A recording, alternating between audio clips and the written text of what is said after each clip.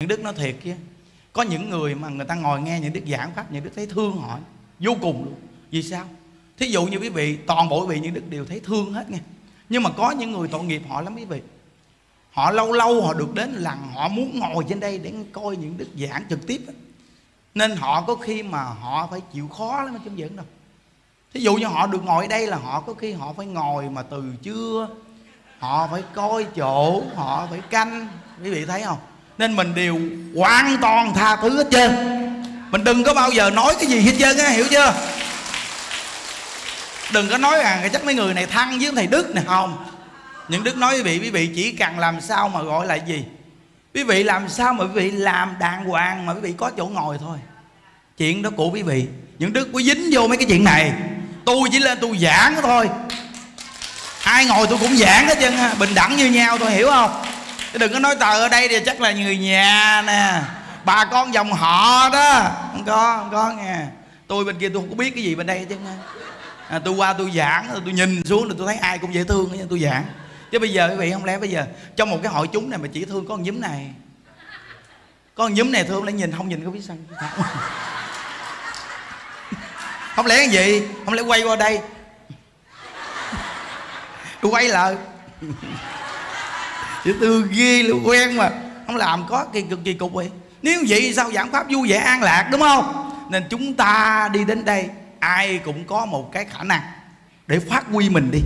Nhưng mà làm sao mà mình làm cho nó nhẹ nhàng? Hiểu không? Vì coi có những người mà người ta buổi tối người ta đã nằm đây, người ta ngủ rồi thì người ta có chỗ đó chứ làm sao? Chuyện đó là cái cái cái cái người ta cố gắng, hiểu không? Giống như bây giờ ờ, lễ quan âm những đứa cũng cố gắng, những đứa mới lễ hết 500 danh hiệu. Nếu những đứa không cố gắng thì sao làm hết 500 danh hiệu? Đó. Còn còn thí dụ như có những người mình nói thôi kệ mấy bà này mệt ghê. Đi tu thì ngồi đâu cũng nghe được, làm gì đâu tôi ngồi phía sau tôi cũng nghe hết thờ. Thì đúng rồi, mỗi người đều có khả năng đó. Nhưng mà người ta thích như vậy thì người ta cố gắng. Đúng không? Tốt hết, cái gì cũng tốt hết trơn vậy đức thấy. Tốt hết trơn nên mình chỉ cần tâm từ bi nó mở rộng lớn ra thì mình khoan dung hết trơn. Mình tha thứ hết trơn. Nên nó tất cả chúng ta đừng có bao giờ mà nói rằng, mấy cái bà này lúc nào tôi quay phim tôi cũng thấy gương mặt quen mấy bà này. Không, mình nói vậy là mình không đồng ý, nó cũng không có nên đâu nghe quý vị. Mình nói vậy là mình phải dùng cái câu là công nhận tôi tán thán mấy bà này thiệt. Như năm xưa mà đức thế tôn đi thuyết pháp ở đâu, có hai năm trăm người mà đi theo đức phật, Nghe không? Nó cứ đi theo đức phật là làm thính chúng, hộ trì cho đức phật thế ví dụ như bây giờ những đức giảng pháp cũng có một số người đông này quý vị thấy không? Nhưng có một số người nó háo hức. Những đức thí dụ như cái cái cái lúc mà lễ quan âm á khi mà mình nói chuyện xa quá cái hội chúng nó quá lớn quý vị. Thì cái trực diện đi nhìn thấy khó quá xa nó quá bự. Thì thấy ông thầy còn bằng ngón tay. À, thầy còn bằng ngón tay à.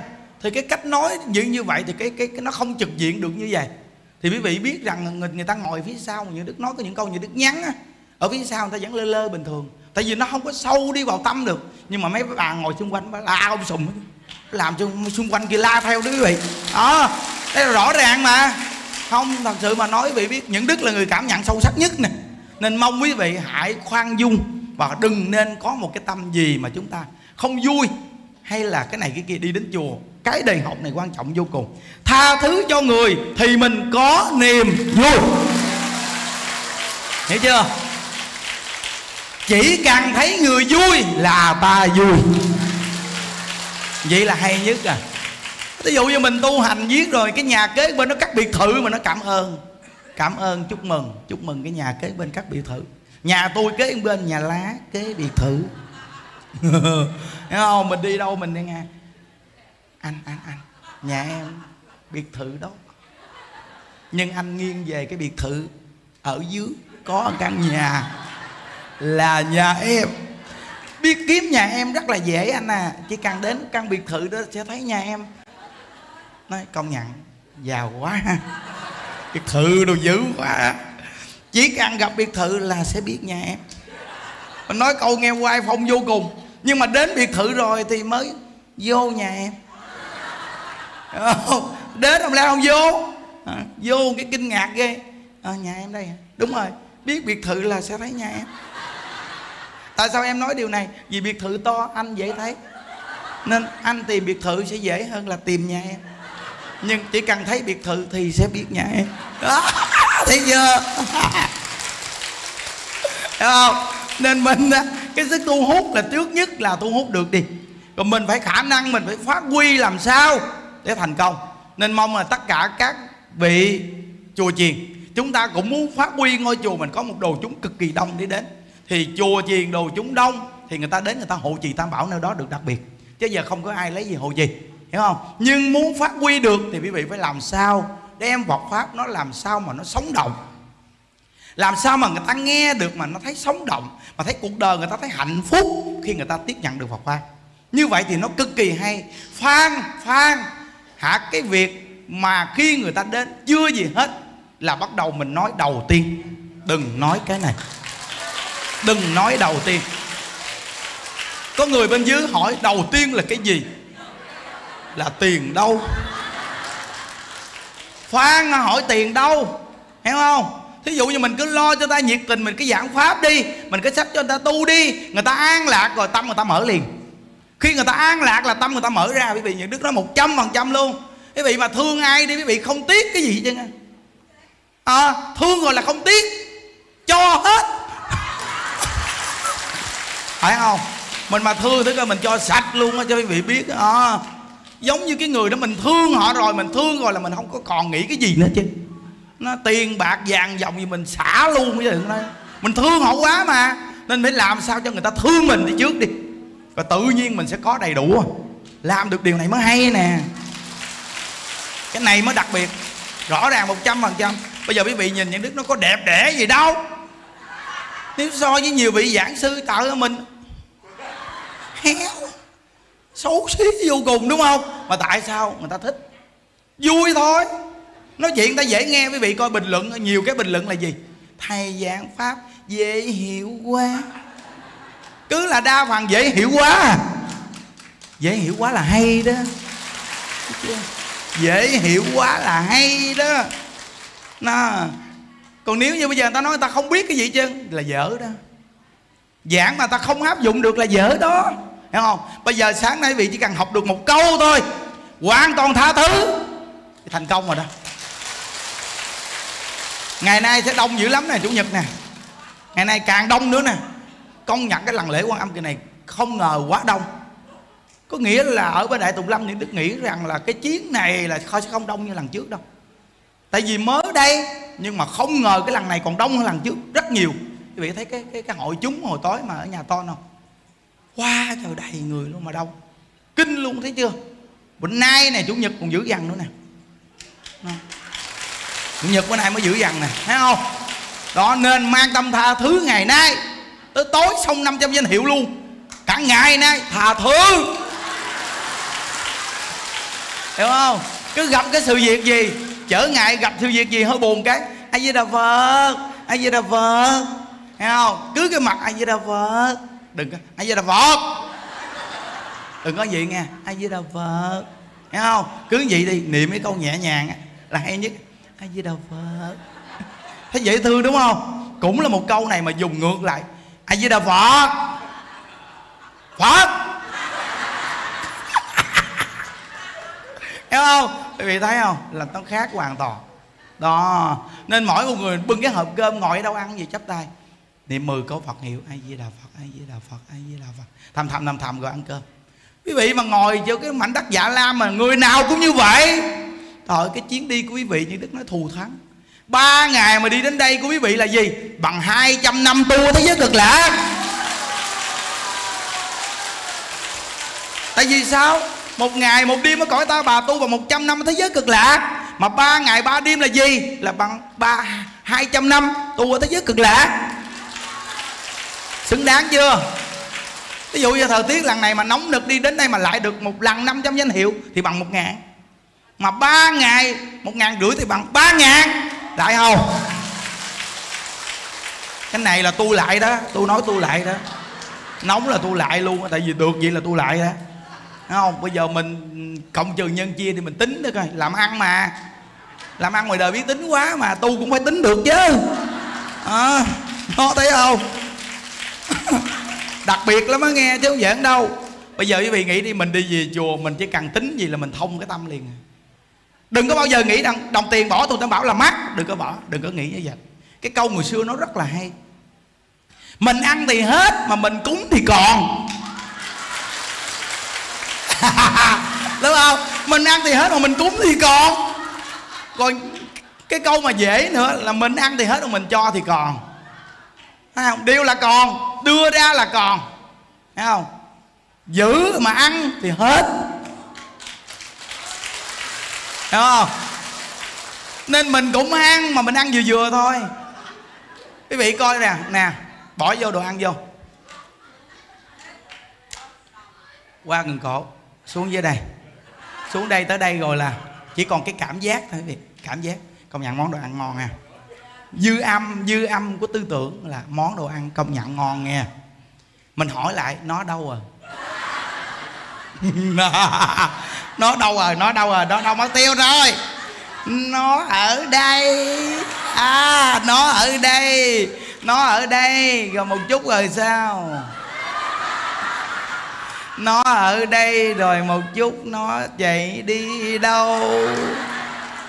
Hiểu không? Không, mình mà chỉ cần mà tỉ mỉ nghe. Tuy nó thô câu một chút, nhưng mà thật sự dễ hiểu. Ha không? Từ đây từ đây ha cực khổ bao nhiêu nghiệp lực tạo ra tham lam dối trá đủ cách để đem về một miếng đồ ăn đây. Phải không? Cái này là suy nghĩ cho kỹ. Xong cái cầm này bỏ vô nghiến nha. Công nhận. Đùi gà. Ngon quá bia. À, công nhận ngon thiệt ngon quá. Thấy không? Chút. Ngon quá anh ơi công nhận. Gà luộc chấm muối tiêu bia sài gòn đỏ ken công nhận ngon thiệt anh ơi. Hưởng thụ này còn hơn thần tiên nữa đó nghe anh. À, nói vậy đó quý vị. À, nói vậy đó. Bắt đầu chút rồi. Nếu mà ai thông hiểu hỏi lại nó ở đâu? Nó ở đâu tiêu rồi à? đuôi gà đâu à? Nó trong bụng tôi á anh. À rồi trong bụng anh rồi cuối cùng nó sẽ chạy ra đâu? À, ở đây nó xuống đây. À, xuống đây à, nó xuống luôn. Xuống luôn à nó xuống luôn đúng không? Ở khi nó xuống luôn rồi lúc đó mình mới mình mình mình mình phải làm cho làm sao mà cho nó thông hiểu hoàn toàn nghe không? Thông hiểu luôn mình mới cầm cái cái cái cái ở dưới lên. Cầm lên rồi mình mình mình mình mình bóp nó ra. Mình kiếm cái đùi gà. Mình kiếm cái đùi gà. Hay là mình kiếm cái đồ hũ ngon này mình kiếm nó đâu mất tiền qua chợ gọi là tạo con người ta chỉ có bao nhiêu như vậy thôi mà cả đời phải trở thành kẻ hèn mọn nếu không hiểu. Phải không? Bây giờ ở chỗ đông người gì mà bây giờ người ta nghe pháp vui vẻ gì mà có một người ngồi ở đây là chôm chĩa thì bắt đầu ngồi cặp mắt láo liên phải là vì cái đó mà trở thành kẻ hèn mọn không quý vị? Cả đời con người vì miếng ăn nên người ta nói không hiểu thì trở thành cái gì? Miếng ăn là miếng tồi tàn, đúng quý vị? Tồi tàn thiệt mà. Nhưng con người phải cần ăn, nhưng mà đừng bao giờ vì nó mà thành tồi tàn. Rồi cái bài giảng này đúng là đặc biệt cái đoạn này nè. Vậy thì nếu như mà bây giờ cơm hộp mà ta đắt chắc đầy hết trơn, người ta ban vô quá đông mình đứng ngoài niệm phật một chút đi. Hoặc đi vòng vòng ngắm bông giấy sao đâu? Có khi mình quay là mình ăn được hộp gửi. Những đức nói vì một trăm phần trăm luôn, ngày xưa mà tượng khi mới làm ở tỉnh thất quan âm ấy vì tượng thu hút cũng như vàng vậy đó. Đây nè, những đức là người đứng ở cho nè. Quý vị biết rằng một ngàn pho tượng phải chia ra ba, bốn điểm cho. Mà mỗi lần mà cho xong là mấy ông thầy quần áo gách ta, tả tơ hết chưa những đức bị tụ quần nè. Đây là một trăm phần trăm luôn quý vị. Mình đứng ở trên cao, mình đưa tượng xuống. Tổ phật tổ phật mình đưa cái bà dưới bà lùng xỉn, bà không lấy được. Bà đứng ghế bên thì đứng, bà đóng cái quần bà nghịch. Thì mình lo cho tượng, mình đâu có đi cái quần. Bà kéo một chút, bà chơi cái quần tốt chứ luôn. Mà trời ơi, mình may mắn bữa đó mình có bạn quần đùi. Kinh khủng vậy đó đây nè, cho tượng bị tụt quần nè. Ghê lắm mấy bị ô nó như vậy mà lạ thay nghe. Cái bà bác không dành gì trơn á, mà bà ngồi ngay chân cái băng ghế. Tự nhiên mình đi ra, mình thấy bà nói, ủa bà cụ sao bà ngồi đây? Bà nói dạ con định thỉnh tượng mà thấy người ta đông quá, con dám vô. À được, bà ngồi đây nghe. Mình chạy vô, mình lấy ba bao tượng đem đưa cho bà. Biết thấy lạ chứ, bị ngộ không? Đó cơm hộp để bao la vậy nghe. Người ta ban vô quá trời mình đi vòng vòng mình đi. Tại đông. Mình đi vòng vòng mình đi ngắm bông giấy chứ. Ngồi niệm phật chơi một chút có khi mình quay lại đồ ăn nóng đem ra. Không có giỡn đâu nghe. Đồ ăn nóng đồ ăn sao á? Nóng á đem ra hâm mới đưa cho mình. Hoặc là nhiều loại đồ ăn mình mình còn ít người quá mình nói à cô còn đồ ăn gì đem đưa miếng đem ra liền. Đó, cái người á mà tự nhiên mình mình mình không muốn gì muốn mà mà cái tâm tham đỡ tối đa đó là tự nhiên quý vị biết rằng nó đến với mình nhiều lắm. Phật nói là đoạn tham thì phước tăng, Mà càng tham thì phước si. À nó Nói đến cái đoạn này đúng là tuyệt tuyệt, Đúng không? Nên tại sao mà cơ hội cho ta móc túi? Tham Tham là thăm vốn liếng thấy chưa? Tự nhiên nhào vô. Cơm đó tôi hộp cơm đưa tôi hộp cơm ở dưới Tha hồ luôn. Dập cái kiếm, coi. Dành nó kiếm nó coi. Tại mấy bà trên mấy bà cứ, cơm cơm cơm. Ở dưới điện thoại tha hồ nó kiếm. Nó kiếm mấy bà mấy bà không biết cái gì chứ á.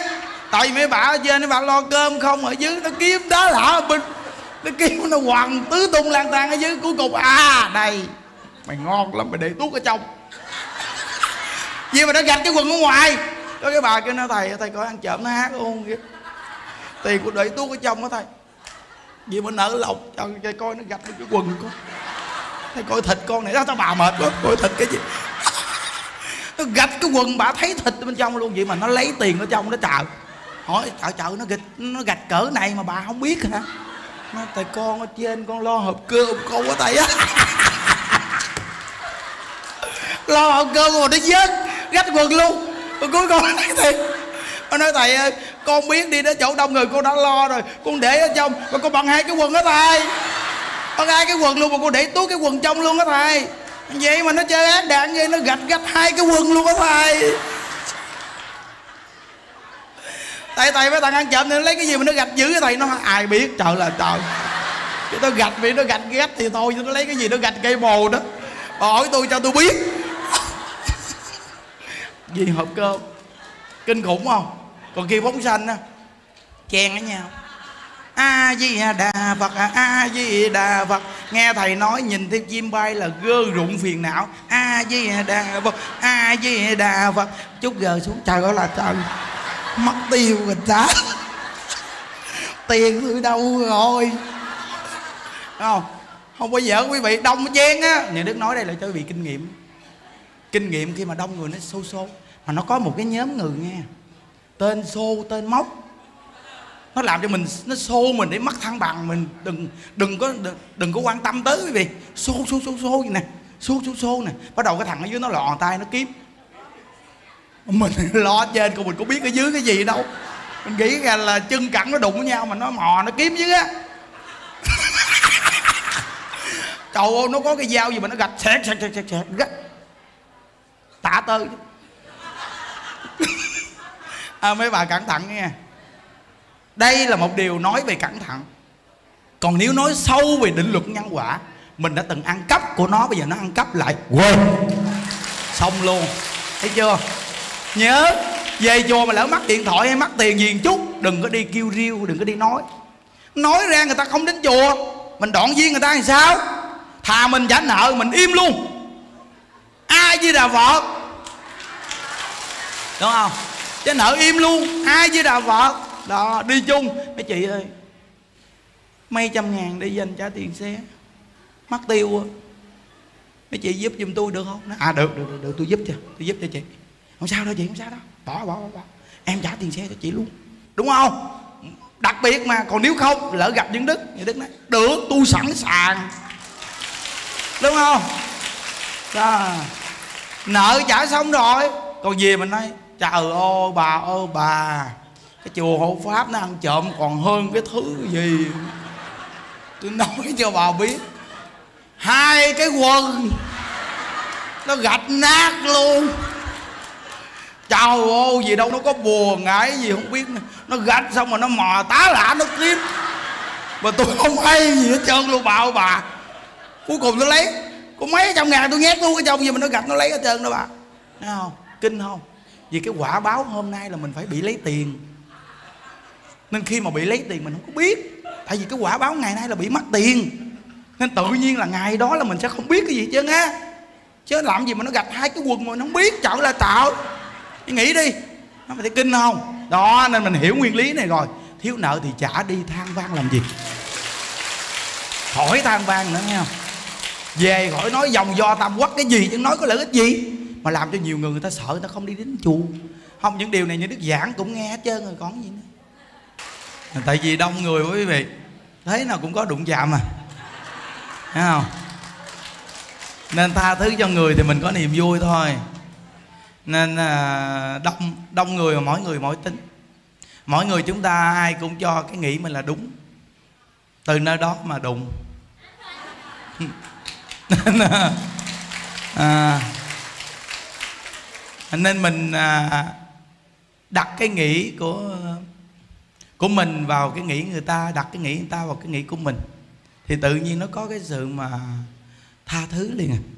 Thí dụ như mình nghĩ mình cho mình là đúng thì mình đặt vào cái vị trí người ta là vậy đó. Thì tự nhiên thông cảm cho nhau. Nên mỗi một con người mình cái tình chấp và cố chấp của mình nó mạnh lắm. Đúng không?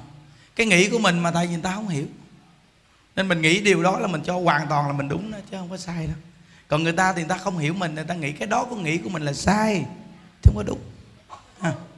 nên cái lý trong Phật pháp á, nó phong phú lắm rất là phong phú nên những đức học Phật những đức thấy rằng là cái lý nào mà cảm giác cho người ta thấy vui và an tâm thì cái lý đó là của Phật à, à. Tại vì Phật pháp là muốn cho người ta vui người ta an lạc người ta tu hành. Nên dùng đa dạng phương tiện sao mà người ta tu được? Lại. Nhiều tối mình lễ quan âm bồ tát phát minh ra được mấy cái điệu lễ. Điều niệm lạ lạ thấy chưa? Nó rõ ràng là cái pháp hội mình mới mẻ quý vị. Rất là mới mẻ nha.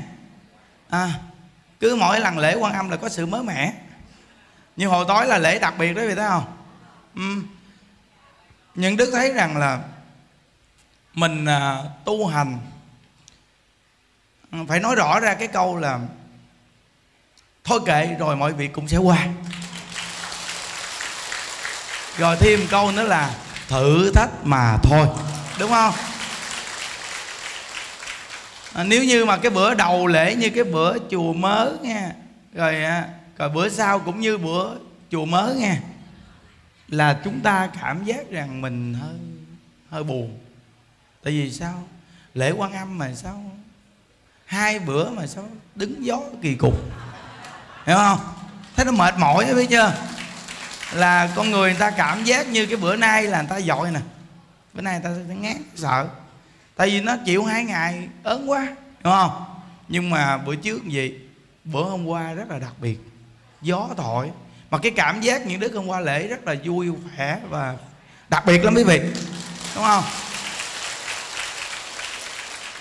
Mà nó có cái cảm ứng chung với nhau hết á. Thí dụ như mình mệt là mình sẽ cùng mệt hết trơn à. Tại chúng ta cùng một thể mà mệt là cùng mệt liền. Nhưng mà khi vui là chúng ta sẽ cùng vui, khỏe là cùng khỏe liền. Cảm giác nó khỏe, là nó khỏe hết trơn. À ví dụ như cái đầu kéo mà mệt rồi là nhà đức nó bảo đảm quý vị là cái cái cái mình và cái cái đuôi nó nó mệt. À, ví dụ như chiếc xe đầu kéo là nó kéo không? Nghe không? À, à, à, à, à. thì cái cái cái mình với cái đuôi đi theo à, à, à, à.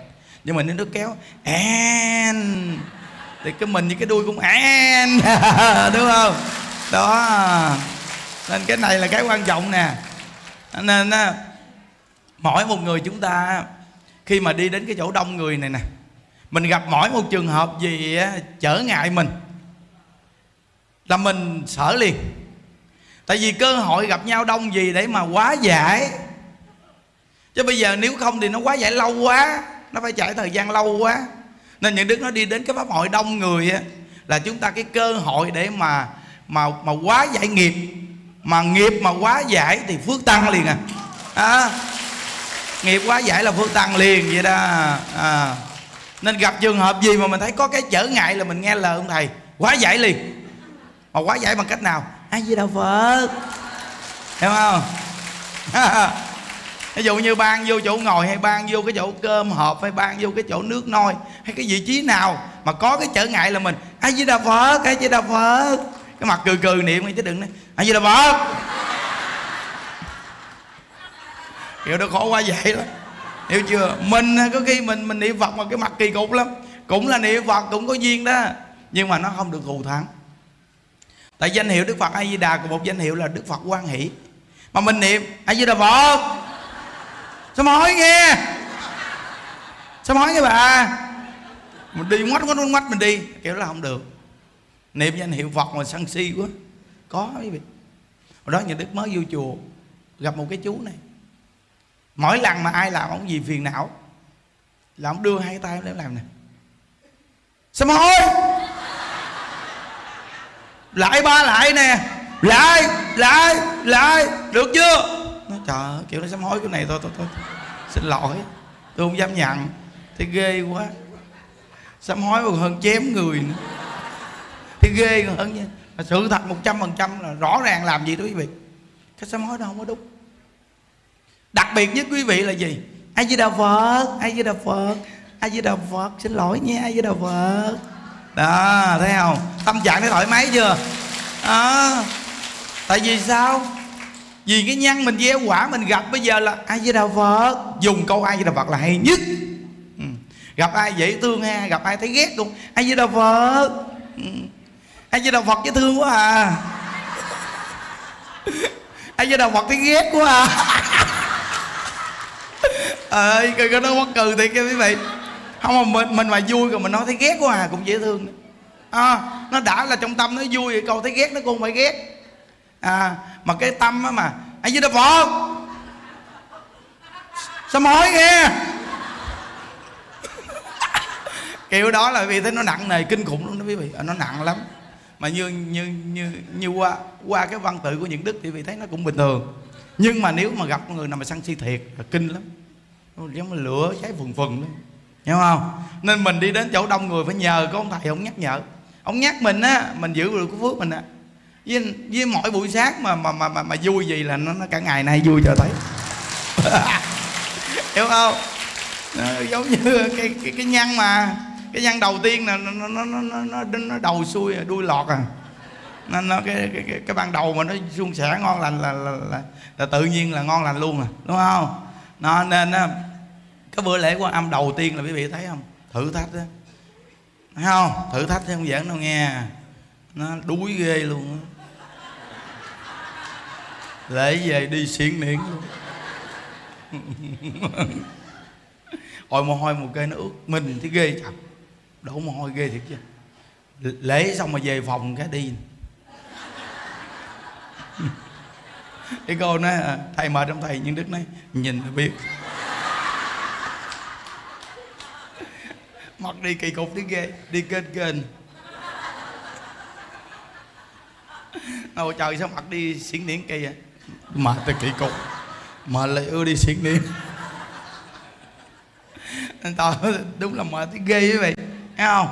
Nhưng mà có công nhận thì khi lại phật lại bồ tát dù mệt mệt nhưng mau hồi phục mau hồi phục quý vị. Vì mình ừ, lại Phật lại Bồ Tát là phát thiện. Không phát thiện tâm dù cái thân nó có mệt một chút nhưng mà mau hồi phục vì nó tích tụ nguồn năng lượng. Mà cái nguồn năng lượng nó tích tụ rồi thì cái sức khỏe nó mau hồi phục cực kỳ.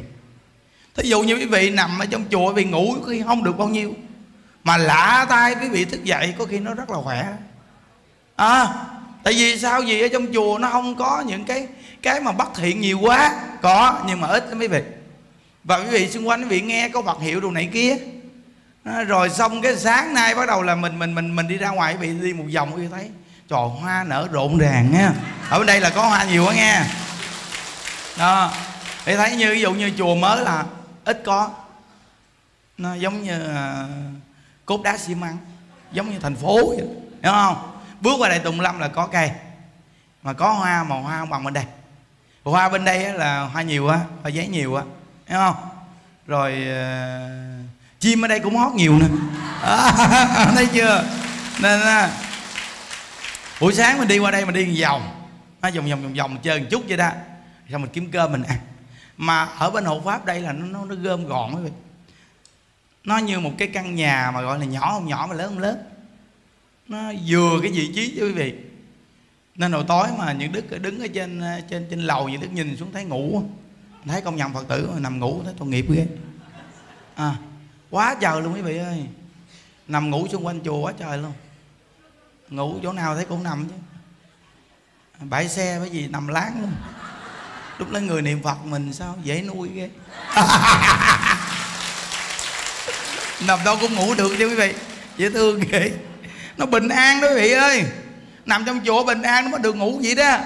Chứ mình mà đi ra ngoài đường mình nằm thấy mình sợ thấy mù dù sợ trắng lột, hay sợ người ta này kia ta lợi người ta hỏi thăm sức khỏe mình. Đúng không? Nhưng mà vô chùa nằm ngon lành ghê chưa? Ôi, nằm mà cứ khi khỏi cần đắp mền mà. Nằm tự tại ghê luôn quý vị. Không kệ. Mình đến chùa phải tự tại. Nó khép nép hoài, nó thấy mệt mỏi ghê á.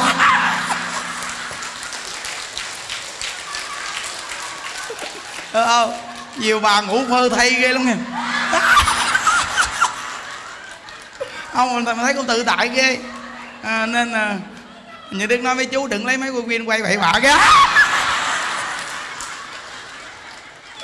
Lâu lâu ta được về tự tại mà niệm lại quan âm mà. Lại quan âm mới tự tại.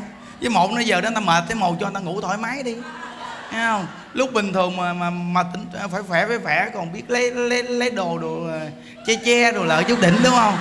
Còn tối về mệt mà nửa đêm khuya mà mệt quá rồi, giờ mệt quá, đuối quá. Đi vòng thấy công nhận thiệt. Đúng là đúng là phơi xương, đúng phơi xương đó rồi phơi xương đúng rồi. quý vị thật sự mà nó ít bao giờ có cơ hội mà phơi xương được vậy đó quý vị. Còn bước vô chánh điện to ô nằm về đâu mà dữ dằn luôn nghe. À. ờ nhà ăn nhà gì rồi ôi bãi xe bên kia rồi phía sau này đài quan âm rồi bên khu tăng là nhiều. Bên khu tăng cũng nhiều. Đó, nên uh, nằm ngủ mà thấy công nhận phật tử mà chùa mình ngoan thiệt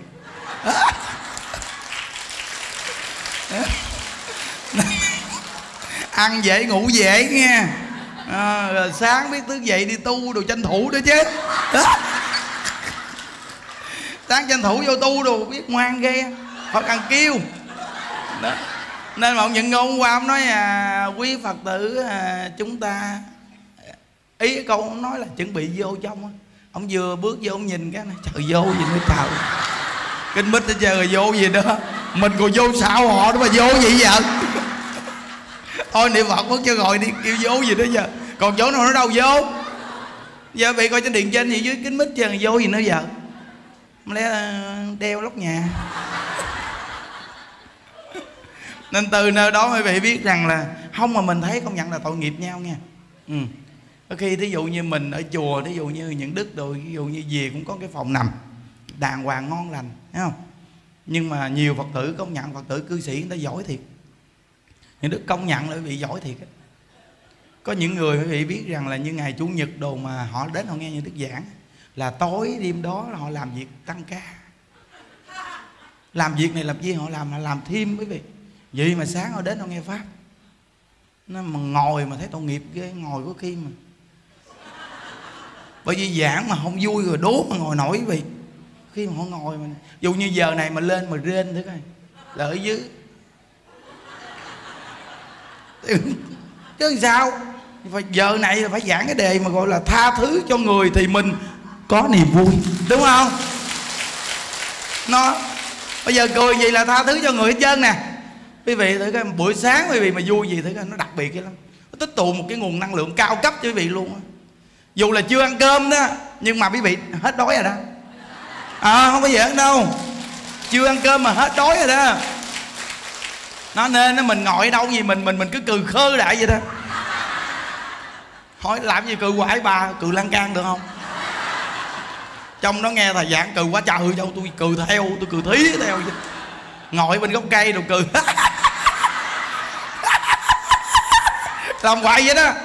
Tự nhiên nó trời bà nó khủng sao cười hoài trời? Thầy nói ừ, cười một nụ cười mười tháng thuốc bổ, tôi cười theo. Không mà cười vậy chút, nó cười thiệt quý vị nghe vậy chứ bên kia ngồi vậy liền. Cô ta ngồi vậy liền chứ giỡn đâu. À thấy ta cười quá tự đâu cái gì.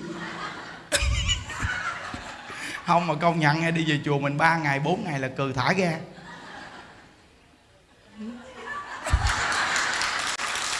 quá trời cười luôn mà quý vị. À. Thí dụ như giờ mình đi kiếm hài hước rồi đi, đâu mà có danh hài hoài cho mình mà nếu một danh hài mà lên hài, có khi mình không cười được hoài đâu quý vị. Nó đổi hoài, hiểu không? Nhưng mà không ngờ trong Phật pháp nó hay thiệt. Nó giống như nó quyển chuyển ở trong cái câu chuyện. Rồi nó làm cho mớ lạ lại. Rồi tức khắc nó làm cho mình cười vậy mà cười hoài.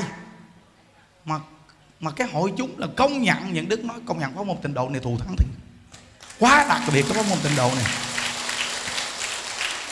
nếu như cái người mà chuyên niệm phật cái người mà chuyên tu nghe quý vị, cái người mà chuyên hoàng tịnh độ này mà cái người nuôi người già, là người này giảng tịnh độ đều giảng hay hết. Chắc chắn. Những đức đã nhìn từ đại đức thích giác nhà ngày xưa nuôi người già, giảng cực kỳ hay luôn. Cái thời mà giảng mà chuyên niệm phật mà nhét môi á, ai vậy đà phật, ai vậy đà phật, ai vậy đà phật. Đó, nhét môi niệm phật, giảng cực kỳ hay luôn. Nó thu hút, đừng có nói quý vị ơi, ngồi nghe thu hút lắm cũng như bây giờ gì nè? Cũng như gì nè? Đó, thì thấy rõ ràng. Nó hình thành ra một cái tông Iran luôn, chỉ cần mà mình làm giống gì là thành công. Nên những đứa nói với thầy, với chú mình, cứ như vậy mà làm là thành công rồi đó. Thấy là cái môn giảng thuyết của mình thành công rồi đó, quý vị. Nghĩa là một ngày bốn buổi mà người ta nghe được, đỡ buồn ngủ, vui, được rồi thật sự mà nói thì thế giới cực lạc, mục tiêu chúng ta về đó là cực lạc vui vẻ thôi. Mà về thôi. Chứ bây giờ về đây giảng pháp hay cái gì, văn tự hay gì, nhưng mà ngồi dưới. Có khi mắc cỡ ngại quá, ngủ xong mắc cỡ ngại vì thấy máy viên nó quay ngay mình nè, vô đang ngủ cái máy viên nó quay mình cái là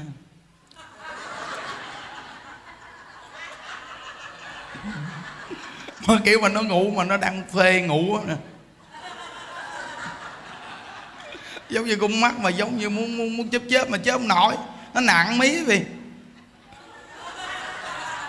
còn nó không vui thật là nó vui cừ kỳ cục lắm vị ơi. Cười mới làm nè. Giống cười mà coi lỡ khóc lỡ cừ à đúng rồi. Lỡ khóc lỡ cừ. Nó mà không vui thiệt mà nó bắt buộc nó cừ là lỡ khóc lỡ cừ quý vị. Gì nè? Hiểu không? Còn mình mà cười thiệt là mình mình mình làm thiệt không có giỡn đâu. Không nó cười thiệt liền à. Đề cái là nó cười liền rồi quý vị. Cái này quan trọng lắm. Nên sáng làm sao mà chọc cười một chút đi. Là tự nhiên cả ngày mấy bà này phải vui. À, phải nữ ngộ lắm. Mình mà chọc họ cười thì giống như mình mình mình mình mình mình chăm hoa tốt. Còn mình mà làm họ buồn là héo ờ thật sự mà nói héo queo luôn á phiền não ác đạn mà nguyên một cái vàng này mà phiền não lên cái cái chùa này cháy. Chắc chắn luôn quý vị cháy liền á. À, mấy bà cào mấy bà quét sạch cái chùa này luôn. Thử mấy bà này phiền não đấy coi.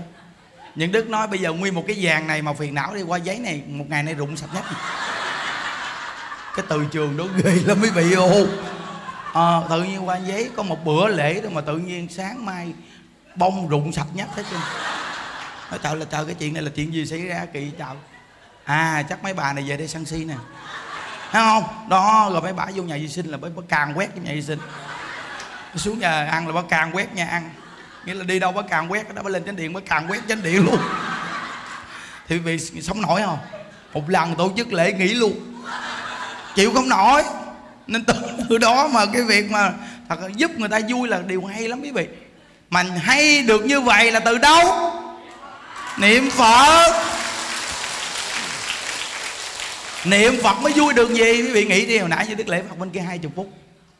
Hai chục phút lễ phật nó qua nó hừng hực đó, quý vị thấy cái tâm lực không? Hừng hực hừng hực lên liền. Nếu mà nằm bên kia mà. Xong rồi đi qua đây đi nè.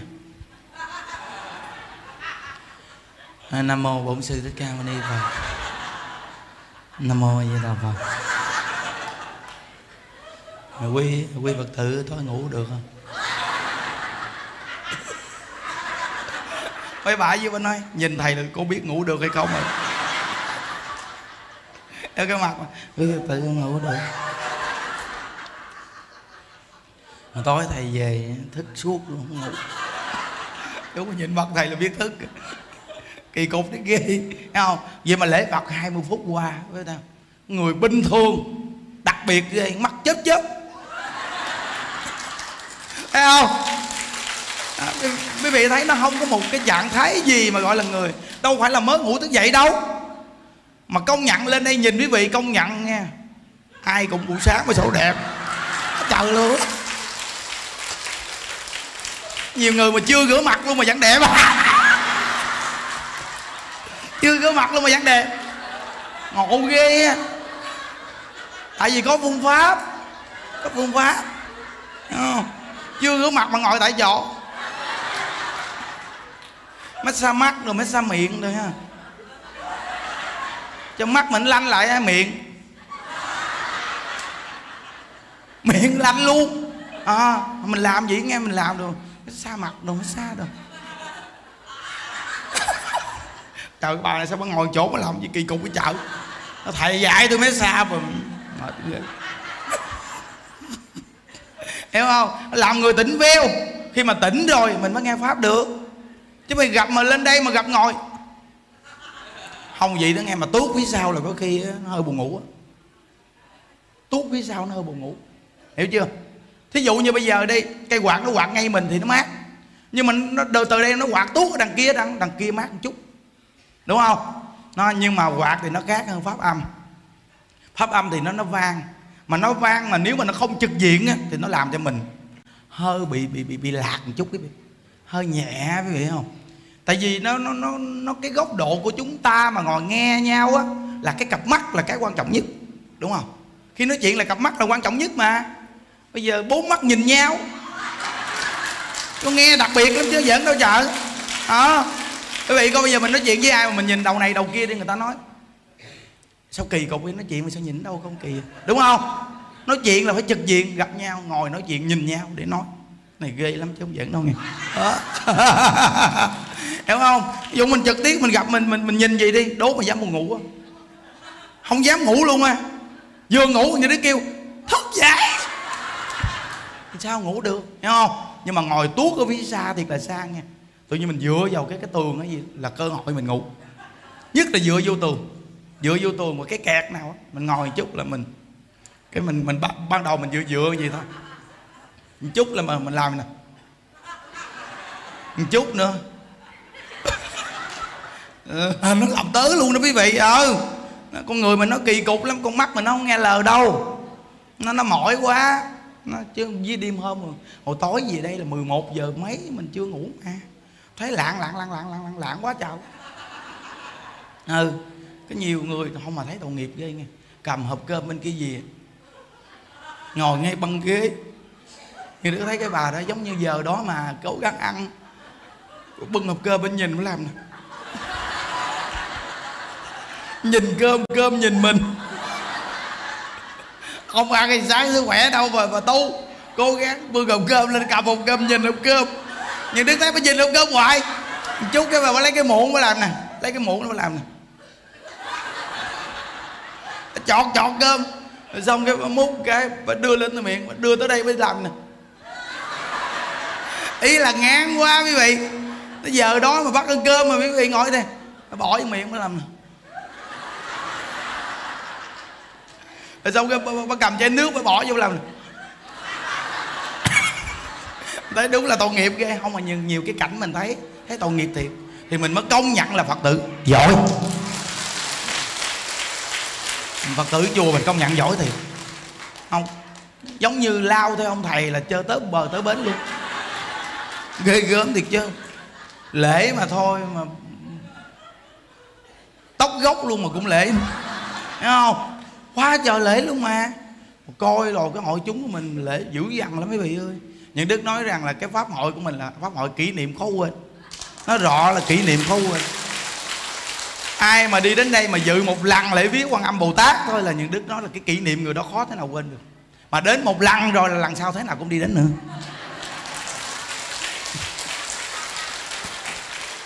Tại sao? Vì vui. Thấy không? Quý vị thấy gì gì, sao mà như đức gì như đức ưa giáo giác phải không? Vì có nhiều người người ta đang nhìn mình. Nên mình phải nhìn lại người ta thôi. Thấy không? Nó ví dụ như phía sau nè. À, thấy chưa? Ta đang nhìn mình mà. Phải đáp lại tình nhau chứ.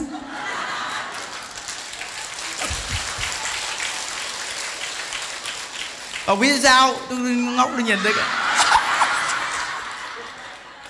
à quá. Hiểu không? Còn nghiệp lắm. Phía sau có nhiều người ta làm nè. Ý nào? Không thầy nói gì mà cười dữ ta? Không mà có nhiều người, người ta đang nghe mình giảng tự nhiên người ta đang đi ngoài đường cái đường mà kế đại tùng lâm nó bị ta nghe tưởng nó cái gì? Tưởng đây chỗ nó đang làm cái gì trong đó? Tự nhiên ta chạy lúc xúc lúc xúc vô. Ta chạy vô ta kiếm. Nó làm gì mà cười dữ chào. À, trời ho Sao tự nhiên ho ngộ quá không thật sự mà nói nếu như mà giờ mình nhìn phía trước không mà mình không nhìn phía sau người ta nói thầy này có lo nhìn mặt tiền không đúng không? Nhìn đường hẻm. Đó thấy chưa? Nên từ nơi đó mà cái quan trọng là gì? Giúp cho nhau có niềm vui. Nghe không? Giúp cho nhau có niềm vui. Mà quý vị muốn giúp người ta có niềm vui thì quý vị phải có nguồn năng lượng thật sự. Nếu như quý vị mà thiếu nguồn năng lượng thật sự thì đố quý vị giúp người ta có niềm vui đó.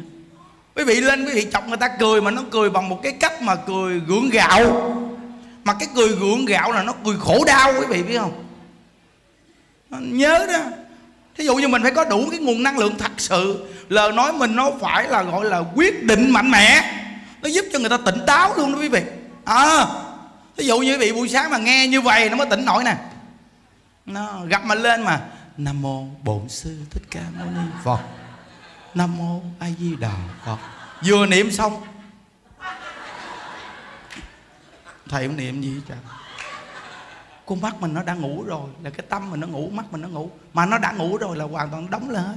Nó đố mà bây giờ mà nó nghe đó chứ đừng có nói chuyện dẫn chơi. Không có nghe đâu.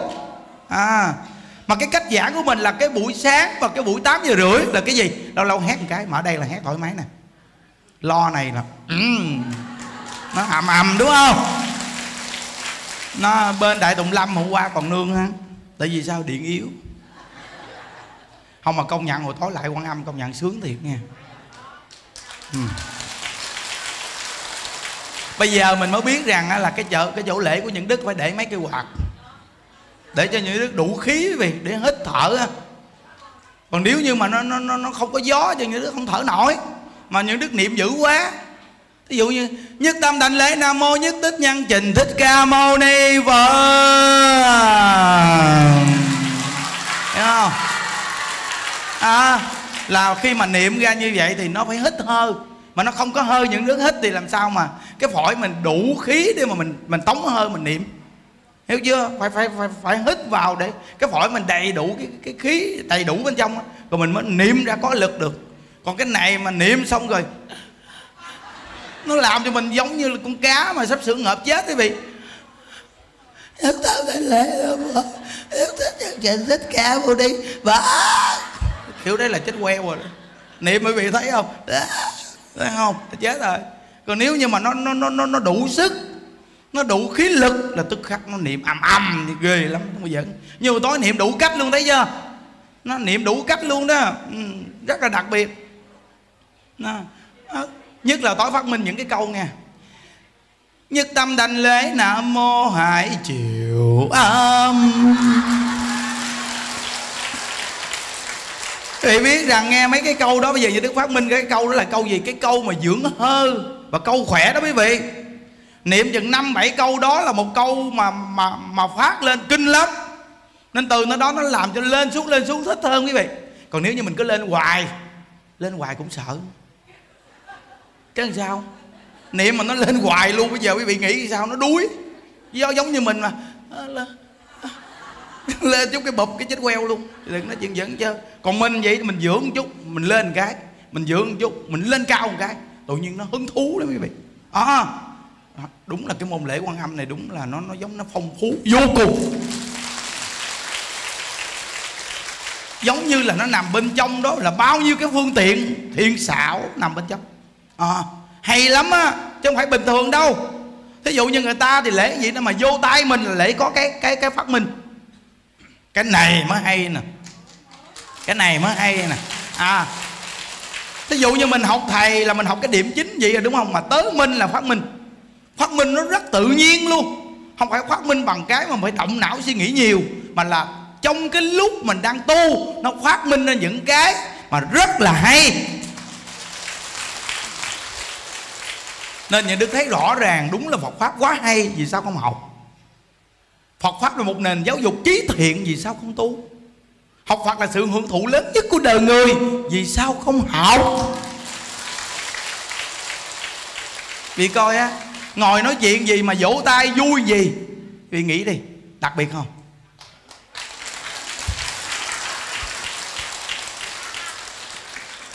Có cô kêu nói là, con mà ở chùa này viết tay con hết dai tại bên ngoài làm nó chai, xong bây giờ vô vỗ tay nó rụng cái chai. Không, thật sự với quý vị nghe, phải có nhiều cách. Thí dụ như quý thầy lên sắp chúng, phải có nhiều cách để mà mình kết được cái duyên với công chúng. Phải có nhiều cách.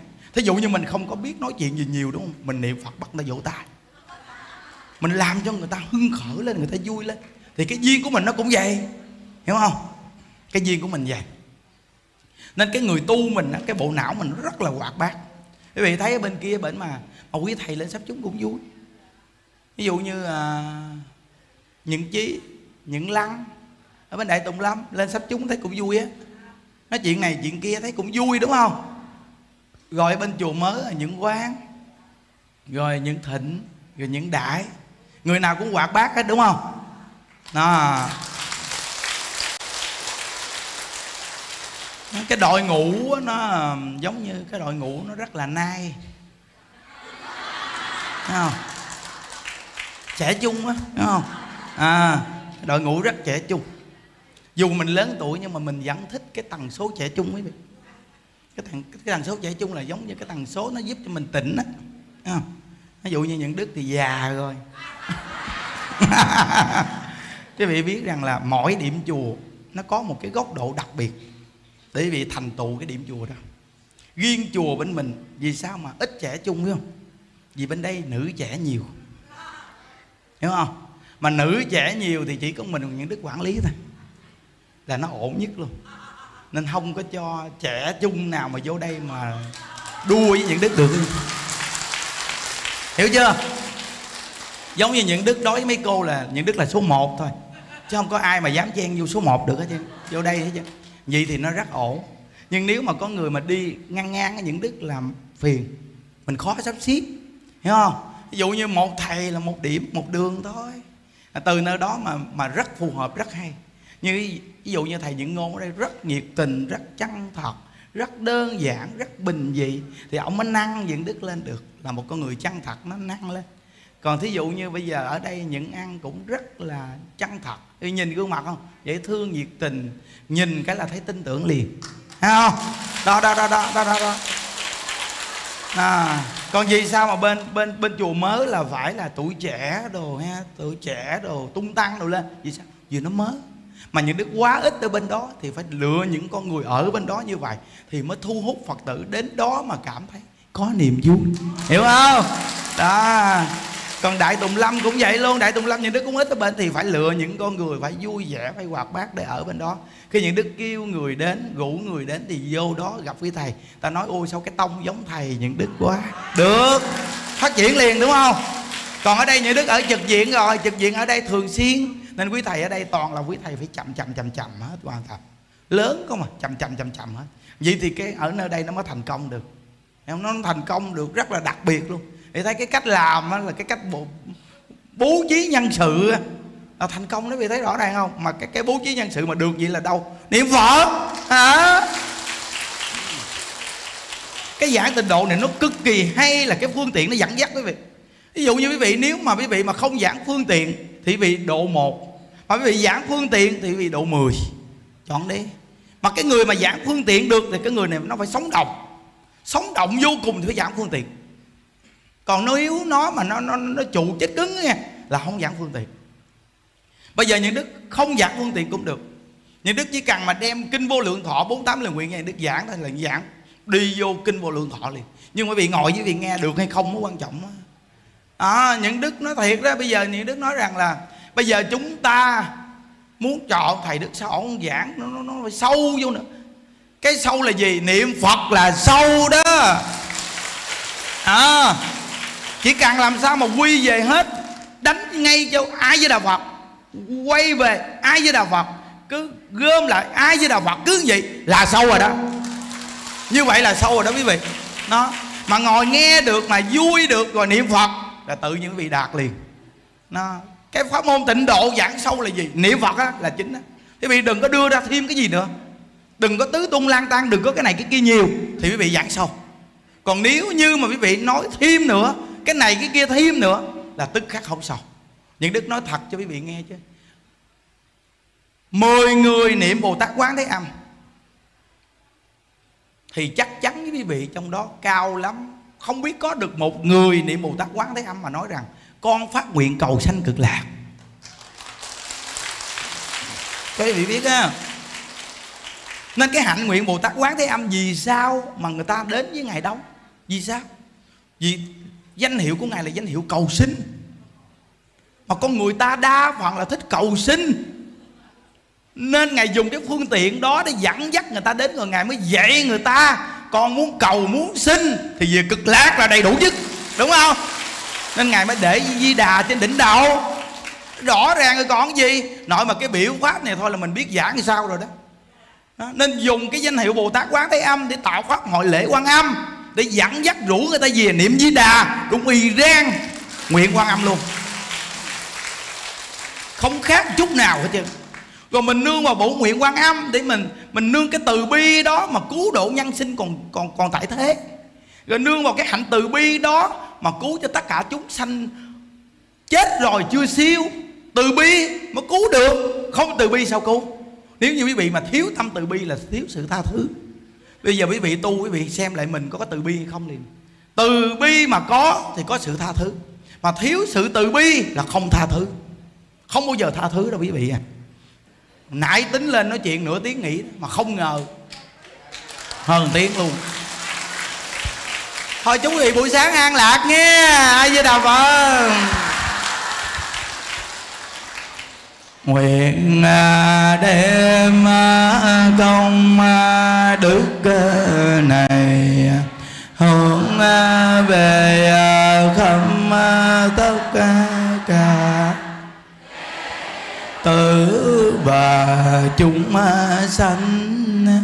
Đồng sanh về, tịnh độ.